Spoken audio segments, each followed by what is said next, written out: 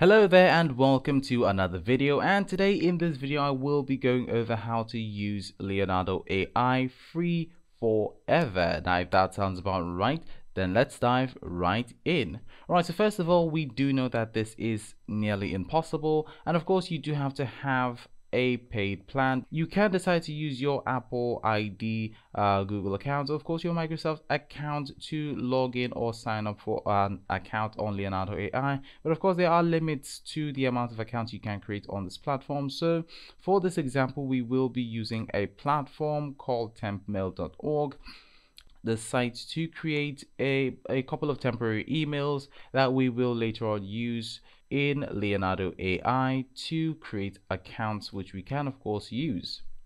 Alright, so here is the first, the home screen, the screen which you will be uh, prompted to in this application. As you can see, this is also a free plan. There is of course an option for a premium plan if you wish. So what we will do is copy this email right here, but do note some of the some of these won't work and some actually will work so it's just a matter of trying out most of these and just see generally what works for you so I'll just click on sign in right here and we'll see if this password gets rejected. Alright so it's not rejected.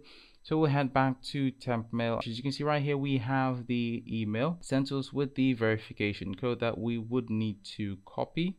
And this is it right here. So i'll just copy this and head over back to leonardo ai and paste this in right here and click on confirm account. So we can choose to save this if we want to just click on save for ease sake all right so basically you can create as much email accounts as you want but uh yeah so that's basically the gist. So you can do this and you will be able to create unlimited accounts in leonardo ai but do remember that it will be necessary for you to clear your browser caches once in a while. So basically that was it for this tutorial. If this video did help you or give you some insights on how to go about the process of being able to use uh, leonardo ai without the issue of having few credits and not being able to use the tool then of course you can leave a like on the video and subscribe to the channel for more tips and tutorials and I will see you in another video.